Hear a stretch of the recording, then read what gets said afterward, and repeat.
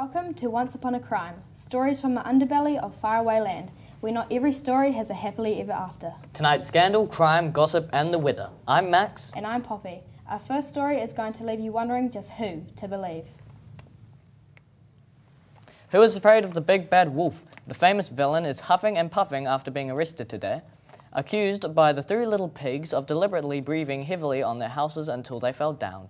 A lawyer of Mr. Wolf claims hay fever is to blame, but is the client really? Oh wait, the client is a victim of negative media hype. Here's our reporter Angus with more.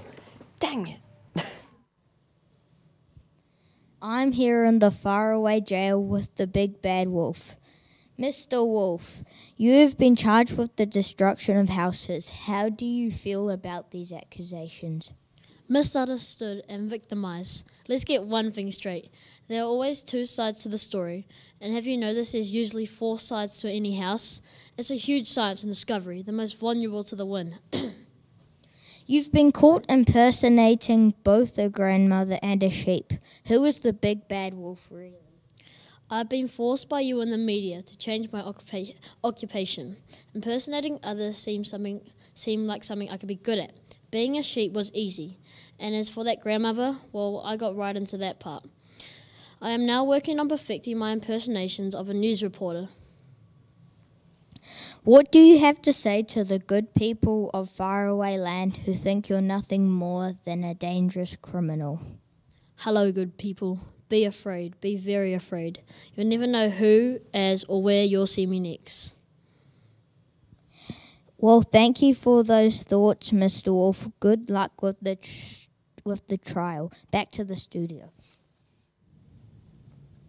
Now for the news of the escaped kidnapped heroes, Hansel and Gretel. Their story captured the hearts of the nation and caused a media re- resonance last year. They have spoken out for the first time about their ordeal in their new book, Blackbirds Ate Our Breadcrumbs, the Hansel and Gretel story.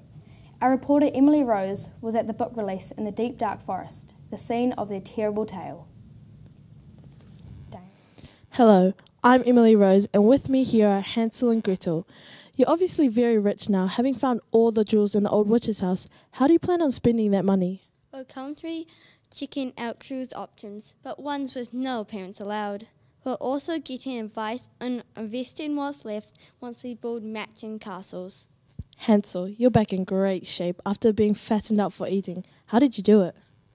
Luckily, while we were in the witch house, we found a book of spells that told us how to build a thin gun. The rest was easy. What have you learned through this experience? Not to trust adults, particularly parents. And if you're ever lost out in the woods, be very suspicious of seemingly nice old ladies promising you sweets. Well, thank you for your time. Back, back to you in the studio. Finally, there's a wicked whisper in the woods that not all is well with the marriage of celebrity couple Beauty and the Beast. After failed plans to start a fashion line and poor sales on their album of duets, scores are saying that their happily ever after might not last much longer. We go to our reporter, Briar. Thanks, Max. And hello, everyone. I'm Briar here in the beautiful mansion of Beauty and the Beast. And hello and smooches to the both of you. Now, yours was a classic love story where two opposites fell apart against the fell fell in love against the odds. How's it all going with you two? It was amazing at first. However, now I found this man to be honestly disgraceful. The only show of manners is when the maid is present, never cleans up after himself. In fact, you find hair wherever he's been. So you're something of a beauty beauty, and you're a total beast beast. What's the reality of living with someone who is completely different from you? It's like we are on a reality show. He hardly ever shows me any affection, and when he does, I need a lint roller. He sheds. Your recent duet album did not sell well, and your fashion label has gone bust. What's next for you two lovebirds?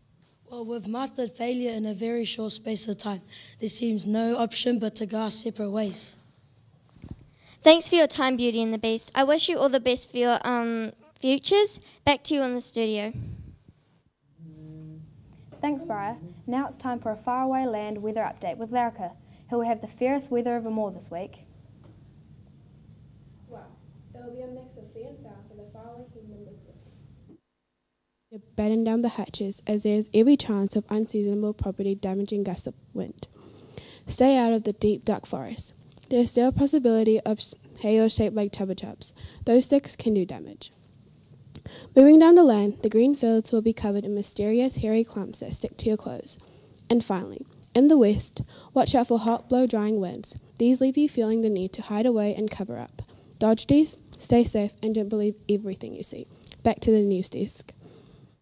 Thanks, Larika. Finally tonight, the long-haired tower dweller Rapunzel is suing the Sleeping Beauty hair salon. Her stylist fell asleep with the princess under a hairdryer. And now the results of the hair were so terrible it threatens to ruin Rapunzel's career and her reputation. Here's our reporter Reed. Thank you. I'm here, I'm here outside court where the first day of the lawsuit has just finished, and here comes the Princess Rapunzel. How did you react when you saw what happened to your hair? I still find it hard to talk about it.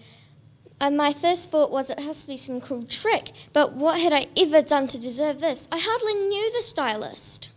What do you have to say to the owner of the Sleeping Beauty salon who ruined your hair, career, and your reputation? My lawyers are preparing our case. I just hope you have enough insurance because you'll never work in this town again.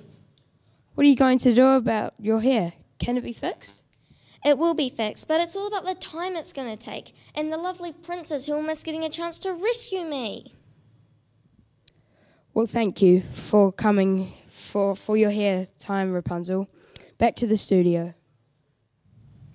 That's all for tonight, although we've just gotten word that the big bad wolf has escaped jail since our interview. He is hungry and he is angry and on the prowl.